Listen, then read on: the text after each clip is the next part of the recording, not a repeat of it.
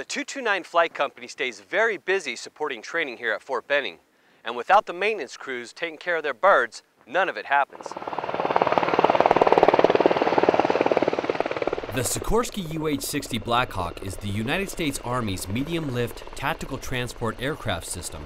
It's a four-bladed twin-engine utility helicopter and like all aircraft, requires a good bit of maintenance. Maintenance drives this whole train. I know that's the same for ground vehicles, but this is this is probably, you know, 10 times the maintenance load. In order to support their heavy workload, the 229's Blackhawks need to be inspected and serviced quite often to keep them safely flying. Preventative maintenance in aviation is the key to success.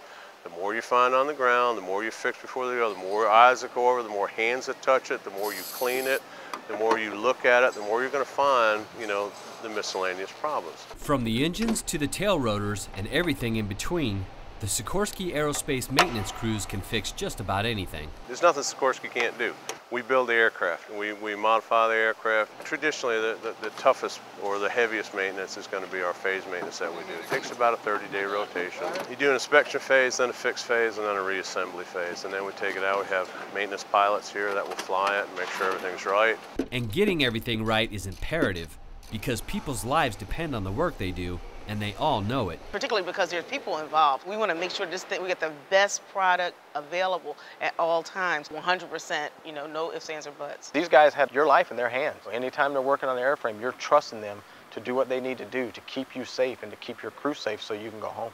The maintenance crews not only have to be meticulous when it comes to inspecting and fixing any issues that arise, but they also have to work around the many scheduling challenges. We have to be very critical to bring the aircraft down around their mission schedule. Due to their high ops tempo, we only have four aircraft here, so to take one out of service really limits their ability to do their mission. With a four-ship fleet running hours early in the morning, late at night, sometimes midday, that's where the challenge is to to making sure we're all aware of, hey, that one needs to come back, get pulled off, get this done, and then get back out. These helicopters not only spend a lot of time in the air, but they also get quite a workout flying some of the most challenging missions in all the military. There's a couple of missions that they do here that they don't do traditionally throughout the Army. So those are things that put a little more stress on the helicopter. These helicopters are quite old. A lot of them are older than the pilots that are flying them in some cases. You know what I mean? They, they, they've been around for a while and they haven't been through a reset in, in, a while, if ever, some of them. The men and women of Sikorsky Aerospace work hard to ensure that the UH-60 Blackhawks are safe and in peak flying condition so that the 229 Flight Company can continue supporting our troops. We feel great about being able to be part of this commitment to military training. Every time one of these goes out the door, they're training soldiers. I think all of our team feels good about that because that's actually what it's all about. The job of keeping the 229 Flight Company airborne is critical to Fort Benning's mission, as they provide the air support that helps train thousands of our troops for combat each and every year.